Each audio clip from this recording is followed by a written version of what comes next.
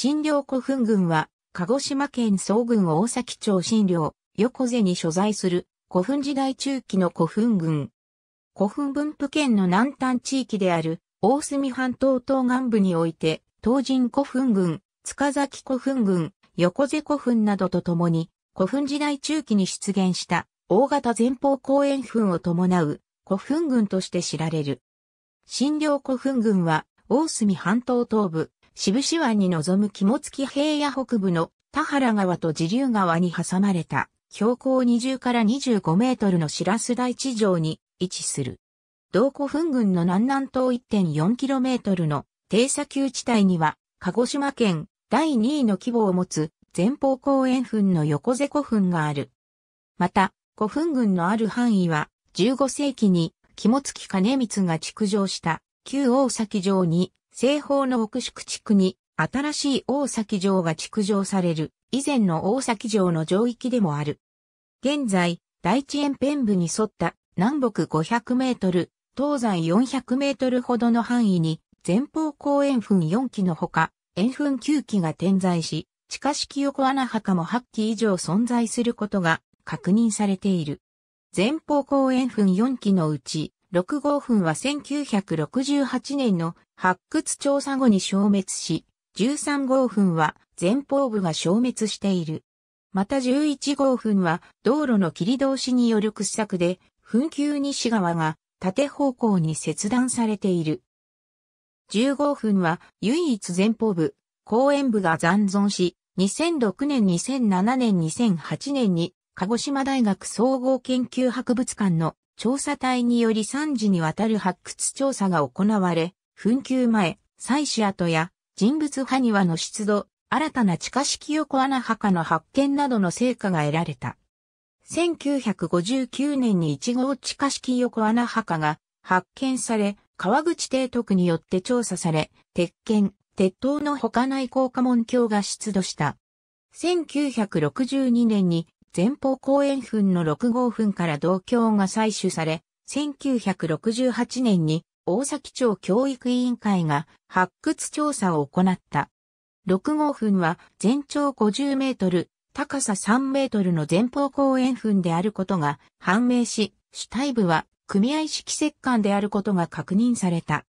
1980年から1993年の間に大崎町教育委員会や鹿児島県教育委員会などにより3号地下式横穴墓7号地下式横穴墓が調査されている。石棺外石大崎町中央公民館郷土資料展示室展示。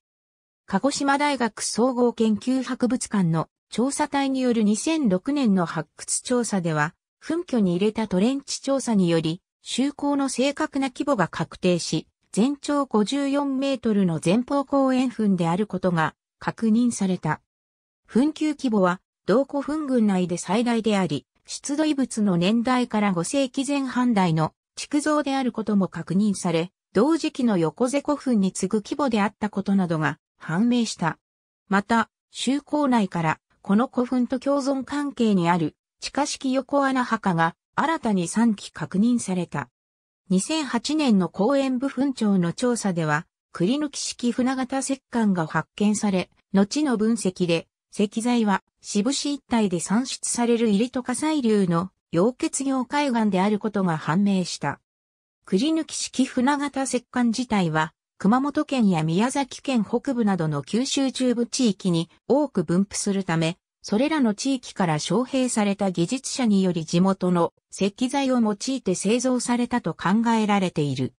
また墳丘西側くびれ部付近では、弾きや巣液を用いた墓前採取跡が発見され、巣液は愛媛県伊予市内唯一の初期巣液用である、市場南組用で焼かれた広域流通品であった。墳丘西側くびれ部付近では、墓前採取跡のほか、多量の埴輪片が出土した。このうち、人物埴輪は、まびさし付け兜を装着し、極めて写実的に表現された顔を持つことを特徴とし、発見時は無人埴輪と思われていたが、後の整理作業により、胴体部分の破片を接合、組み立てた結果、顔面部分に比べて、極めて粗略な、作りながら、盾を表現しており、埴輪の分類上、盾持ち人に属するものであることが判明した。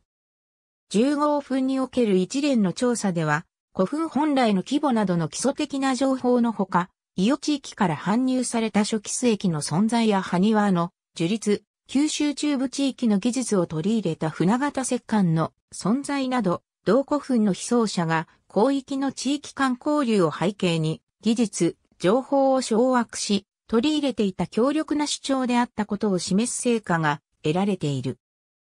大隅半島の渋市湾岸、肝付平野部では、新寮古墳群のほか、岡崎古墳群や塚崎古墳群、東神古墳群、横瀬古墳などの古墳時代前期中期の古墳が多く分布するものの、鹿児島県下の古墳時代像は、かつて、熊祖、隼人の地などと言われた歴史観も重なり、弥生時代以降の文化的な発展が停滞した地域から隔絶、孤立した地域とみなされがちであったが、新寮古墳群の調査成果は、当地域が、機内や瀬戸内、さらに南東などとも積極的に交流していたことを示し、九州南部の古墳時代像に最高を迫るものとなっている。ありがとうございます。